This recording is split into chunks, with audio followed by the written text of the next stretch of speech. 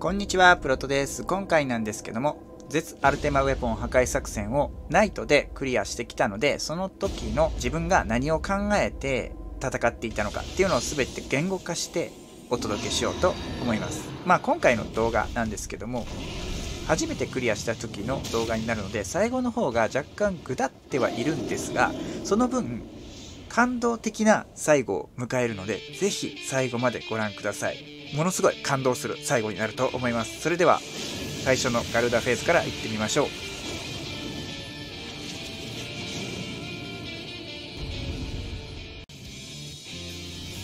それではまず最初からですね、10秒前にランパートとスプリントを使って2秒前でホーリーを栄唱してスタートしていきます。そして 1GCD 入れたらもうね、ファイト・ワフライトとレクエスカットからのホーリーのコンボを打っていきます。そして、シェルトロンを使って軽減していきます。で、ホーリーが終わったらスタンスを入れて、ロイヤルアソリティを打ったら、緑の弾ですね、スパイニーにホーリーぶち込んでターゲットを取ります。ここでセンチネルとブルワークを使って範囲攻撃をしながら削っていきます。範囲攻撃が2コンボ目が終わると大体横の竜巻が終わるので移動します。移動して、おぎゃーを聞いたらさらに移動します。で、この辺りで、ロイヤルアソリティを打ち終わった頃に倒し終わるぐらいがベストなタイミングだと思います。で、ここで、ディバインベールを使って、みんなの HP が戻っていたら、低気圧デバフ解除して次のウィンドブレードを受けてもう一回すぐに入ります。で、また後ろに集まってウィンドブレードを受けていきます。これウィンドブレードの範囲狭いので、ちゃんとみんなと集まって受けるようにして、低気圧のデバフを1個ね、持っておくと。でここでバーストに入っていますが、飛んでいきます。まあそんな火力いらないバトルなので、そこまで気にする必要はありません。ここでリプライザルと羽を広げてエリアルブラストを軽減しております。で、打ち終わって、ロイヤルアソリティを入れて、もう一個ホーリーを作っておきながら、ギリギリまで殴っていって、えー、探します。で、探した先で、ランパートとメインタンクにインタベを投げていきます。このウケットフォイールの炎症中にですね、入れていきます。そして、おキャーが来たら移動して、敵を殴ってはいくんですが、ここで、またロイヤルアソリティを打って、ホーリーを作っておきます。それからの、集まってきたところで、範囲攻撃ですね、入れていくと。で、D4 の人にインターベーション投げておいて、その D4 の持っている雑魚にホーリーを打てたらいいかなっていう感じですけど、今回削りが早かったので必要ありませんでした。で、ここは敵のスリップストリームが来ます。この次の円範囲のやつですね。来るまで削りを抑えながら戦っています。この辺はパーティーによって違うかな。このビケットヒールの範囲が終わってから倒すようにやっていました。で、中央に集まって、東西南北どこかに出現するイフリートを確認したら、それを横に置いてですね、上下で見分けやすいようにして移動しています。で、C ですね。ここで、リプライザルと挑発でターゲットを取っていって、この全体攻撃が終わった後に、ディバインベールを巻いておきます。そして、このバルカンバーストが見えたら、無敵ですね。インビンを使って、インシネレートを無効化していきます。3発食らったら MT さんがタゲを取り返してくれるので、そこでシャークなんかを上げてですね、ヘイトをね、明確にしておきます。そして2本の幅が狭いところを北側に向けてですね、ここはしばらく普通に削っていきます。で、くさびの1本目がでかくなったところにホーリーを当てれるようにスキル回しを調整してホーリーをぶち当てますしたら他の人は攻撃して倒れるので次のくさびを攻撃してまず3本目いってだいたい 1GCD に1本分一発攻撃できたらいい感じだと思います。さあ中央に集まっておいてここでリプライザルと羽を使って自国の火炎を軽減していきます。でバーストタイムですね。バーストしておきながら下がっていく下がってじゃない北その方角の方移動していってエラプションの栄唱が終わったら MT さんにインタベを投げています。でここはまあ普通に削っていくと。ST は楽ちんなのでね。はい、とにかくやること簡単。で灼熱の方向が来ました。そしたらまたインタベを投げておきます。まあ、いらないかもしれないですけどね。ゲージがもったいないので使っていきます。でここでまたディバインベールなんかを巻いておいてですね。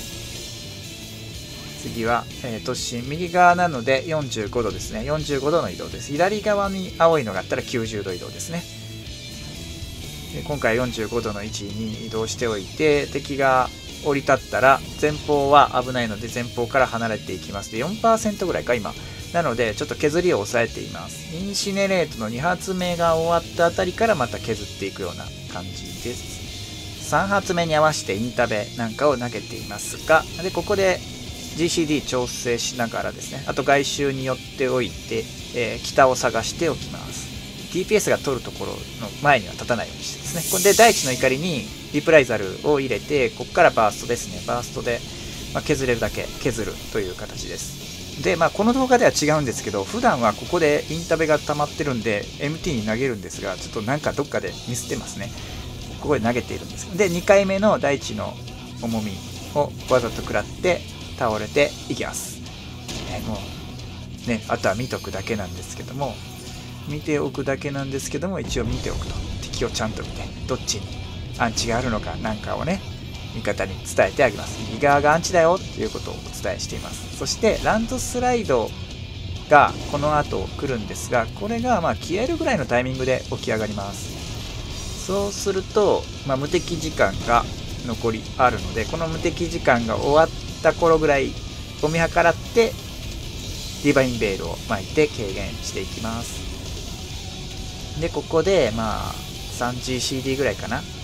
回すと、えー、重みがやってくるので避けていきますここも離れていきますでランドスライドの根元はちょっと重なったりして危ないので少し後ろに下がってから真横からねすぐ予兆が消えたら中に入って、えー、回避していくっていう形ですね。で敵の飛ぶ方向を見て真逆の方に行ってですね。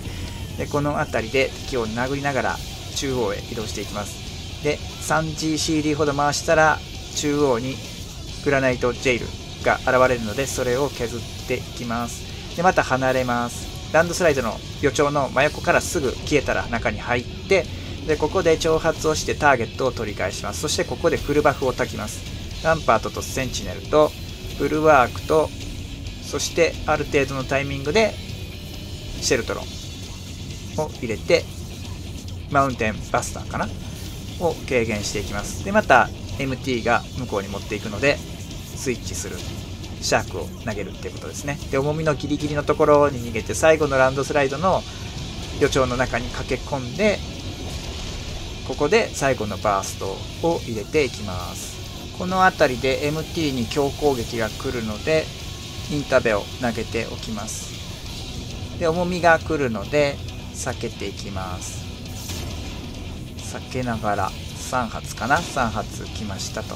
まあ、一応中央に戻っていきながらここでディバインベールなんかを巻いてですね軽減してるような感じですね。まあその辺りで敵が終わりましたと。でここで LB フェーズに入りますが、まあ、ST としてはねやることがないので外周のこの湧いたピットをちょこちょこと攻撃しているという形ですね。ホーリーなどロープを投げたりとか、まあ、適当でいいでしょう。若干南にここずれておくと次殴りやすいのかなと思います。ヒラエル B が終わったらアシエン・ラハブレアを殴ると。ある程度殴っておくで LB が溜まったら近接の LB が発動して倒れるとでこの後はタンク LB なんですが MT さんが使うということになっているので 本当に何もやることがないのが ST のお仕事でございます。いやー楽ちんなね、お仕事ですね。本当に申し訳ない。いやーあの、絶はね、やる予定に全くなかったんですけど、なんとなくノリで行ったら、ちょっと楽しくなっちゃって、じゃあクリアまでやってみるかということでやっております。はい。もともと予定にはなかったことなんですけども、まあ、なかなかこの絶をやる機会はなかったんですが、やってみてまあなかなか楽しいなと。まあ今後もやれる機会があればやってもいいかもしれないなぐらいの今雰囲気で山りとおります。さあそろそろ最終のアルテマフェーズが始まります。アルテマの東側に待機しておいて薬を飲んでスキル回しを行っていきます。このフレアにリプライザル、ランパートを焚いておいてですね、バーストしながら誘導レーザーが来るのでブルワークとシェルトロンで軽減していきます。でこのレーザーの詠唱中に全て行わないと軽減が入らないので注意してください。結構早いです。そして MT にインタベを投げておいてディバインベールを使っておきます。やや早めにディバインベールを使うという形ですね。殴れなくなるまでしっかりと攻撃を当てていきます。で殴れなくなったら中央へ行ってガルーダを見る。そして逆を見て安全そうな C ですね。C へ移動していきます。でここで羽を広げて軽減してあげます。羽を広げて軽減。まあ、ちょっと入ってない人もいるかもしれない。ちょっと場所とかで、ね、やりにくかったりするんですが。でおギャーが来たらすぐに移動していって ST は A の位置でいいですね。A の位置でまた殴っていきます。でこの後またバーストタイムが来るんですがバーストのタイミングで移動が重なるような感じかな。しばらく殴っていてここでバーストのホーリーのタイミングでサラミが湧くので角っちょへ行って消えたらすぐ南へ移動していってランドスライドを誘導します。すぐに中へ駆け込んでいきます。この後 MT のデバフを確認しておきます。吸着爆雷かな。で爆発いたら挑発をしてターゲットを取ります。ここはシェルトロンあたりで敵のオートアタックを軽減してたらいいかなっていう感じですね。オギャーの相手移動してもう一回オギャーが来るので A の前へ移動していきます。でここで殴っておくと。しばらく殴れます。敵の栄唱究極幻想が終わって敵がたけれなくなった頃ぐらいにリバインベールが帰ってくるので巻いておく。そして重みを避けていきます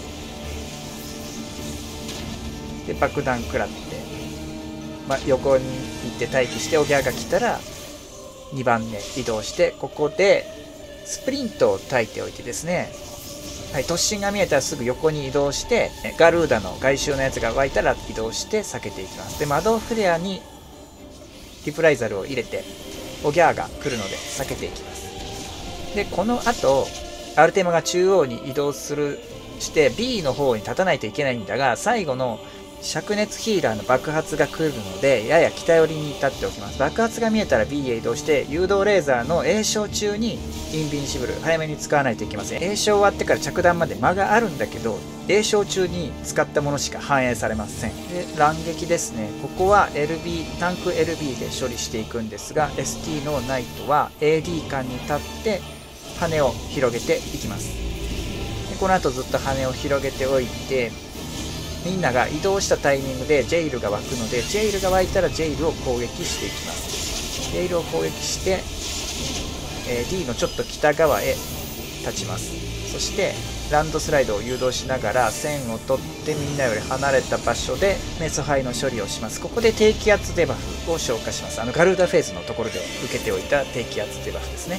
でオギャーが来たら離れておいてでこの後あの南東の方に立って敵を攻撃していきます。アルテマが来るのでここにリプライザルをぶち込んでおいて LB は MT さんが使います。で南東の方に立たないといけないんだけどこれをこの動画のこの時点が乱撃を超えてなのが初めてっていうかまともに超えたのが初めてだったので場所をちょっと失念していてスキル回しもぐだっておりあ何をするんだっけ？みたいな感じになっておりますがここでフルバフを焚いてから今の弾を取ります。あのランパートとセンチネルの両方を焚いておかないと耐えれないはずです。なので両方焚いて弾を取りに行きます。でこの辺は私はテンパっております。だって初めて来たんだもんっていう感じです。でここで、えーと、2番に立っておいて何が来るのかなっていうのをチェックしておきます。でディバインベールを巻いているんですがこのタイミングが適切かって言ったらそうじゃないかもしれない。ですね。ここはまだ余裕があるからその次ぐらいの履行技に合わせた方がいいかもしれないですね。でこれ今回最初タイタンだったので重みを全部かわし終わったら2番へ戻って、えー、全体攻撃を受けます。この後に多分ディバインベールの方が助かるんちゃうかなヒーラーさん的には。で、えー、次はイフリートなのでえ3番まで走っていきます。で3番で突進を回避した後に地獄の火炎がやってくると。また痛い全体攻撃がやってきます。機体全体攻撃がやってきたら最後はガルータなのでガルータは A の辺りに集合ですね。A の辺りに集合してウィケットホイールやったかな。この円範囲が終わったらすぐ中へ駆け込んで A の場所で待機してでエリアルブラストがやってきた後かな。後にオギャーが来るのでそれだけは忘れないようにオギャーが来たら移動をします。で最後のここで攻撃の場面になるんですがもうあとは全力でもうギミックないんで殴るだけの話なんですけどもここにバーストを合わせる感じでやった方がいいってことですね。俺もう先に3番新フェーズ使っちゃってたんで今回薬だけになってしまったっていう。もうちょっとで帰ってはくるんですがここに絶対合わせた方がいいなっていうことを知りました。あとはもうギミックがなくて時間切れまでの演出があるんですがここから先は生の声をお聞きください。一人いや一人ずつ持ってかれる。一人ずつたこ焼きで。さよなら。頑張れ。頑張れ。頑張れ。頑張れ。持ってかれる。あとお願いします。あと1頑張れあとお願いします。頑張れ。頑張って。頑張れ。任せた。頑張って。頑張れ1.3%だ。頑張れ。いけそう。頑張れ。頑張れ。